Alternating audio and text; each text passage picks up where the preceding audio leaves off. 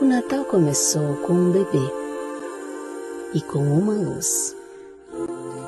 Ele é a luz do mundo e sua luz mudou o mundo. Então você nasceu. Você começou como um bebê. E você nasceu com a luz dele em seus olhos. Enquanto você crescia, essa luz também aumentava.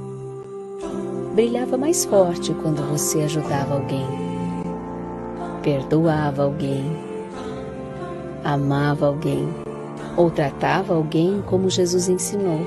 Neste Natal, o mundo precisa de sua luz, sua família precisa de sua luz, os famintos, os solitários, amigos próximos e pessoas desconhecidas, todos precisam de sua luz. Jesus ensinou a seus seguidores: Vós sois a luz do mundo. Chegou a hora de fazer sua luz brilhar.